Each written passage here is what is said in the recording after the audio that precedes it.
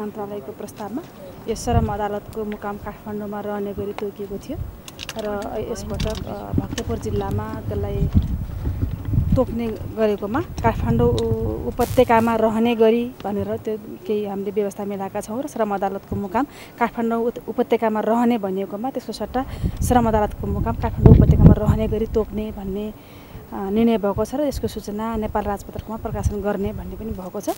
त्यसै गरेर यो हाम्रो स्वास्थ्य तथा जनसङ्ख्या मन्त्रालयको प्रस्तावमा रामराजा प्रसाद सिंह स्वास्थ्य विज्ञान प्रतिष्ठान पूर्वाधार तयारी विकास समितिको अध्यक्ष पदमा सप्तरी निवासी प्राध्यापक डाक्टर पशुपति चौधरी र सदस्य पदमा सिराहा निवासी डाक्टर वीरेन्द्र प्रसाद यादवलाई नियुक्ति गर्ने भन्ने निर्णय भएको छ।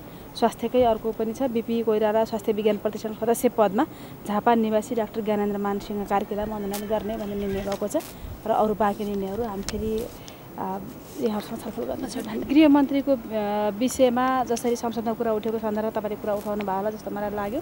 र त्यो विषयमा प्रधानमन्त्रीज्यूले संसदमा बोलि नै सक्नु भएको छ। र संसदीय समितिमा गृहमन्त्री स्वयंले पनि उपस्थित भएर त्यो कुरा बोलिराख्नु भएको छ।